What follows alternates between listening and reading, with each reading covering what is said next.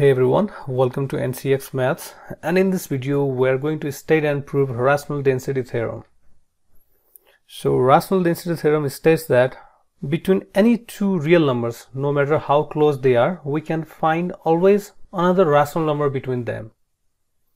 So here we have its statement.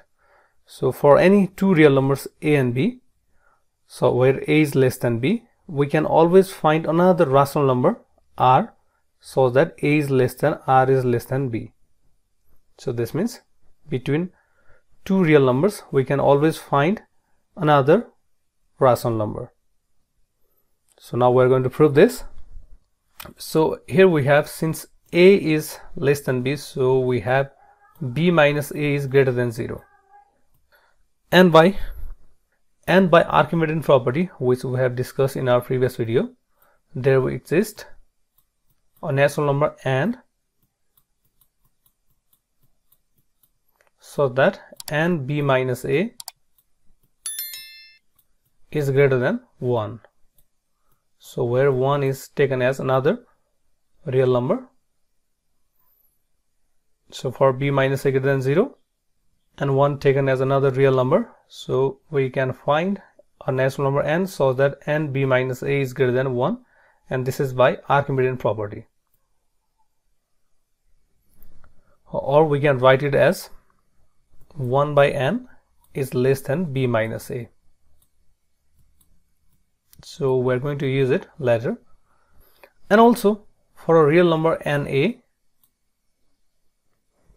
we can always find an integer let's say m such that this na lies between m minus 1 and m so this is so obvious that uh, let's take a real number. Uh, let's say 1.2 so for this we can find an integer 2 such that this 1.2 lies between 2 minus 1 and 2 so from these two we can say that a is less than m by n and from this fact that m minus 1 is less than na we can write m is less than na plus 1 so we're going to use these facts later.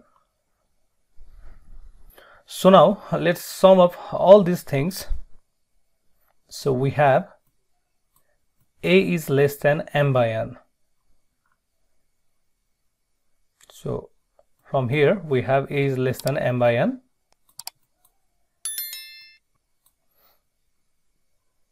And m is less than na plus 1 so we can write that since m is less than na plus 1 so we can write this na plus 1 by n. So as we separate the denominator we got a plus 1 by n and also from here we have 1 by n is less than b minus a. So we can write a as it is. And since this 1 by n is less than b minus a so we can write plus b minus a. So this b minus a for this 1 by n less than b minus a. So now these two things can be cancelled. Plus a and minus a. So now we can write that a is less than m by n. And finally this is less than b. So since here we have b so we got a is less than m by n is less than b. So obviously this m by n is a rational number. So if we take this to be r so we can write a is less than r is less than b.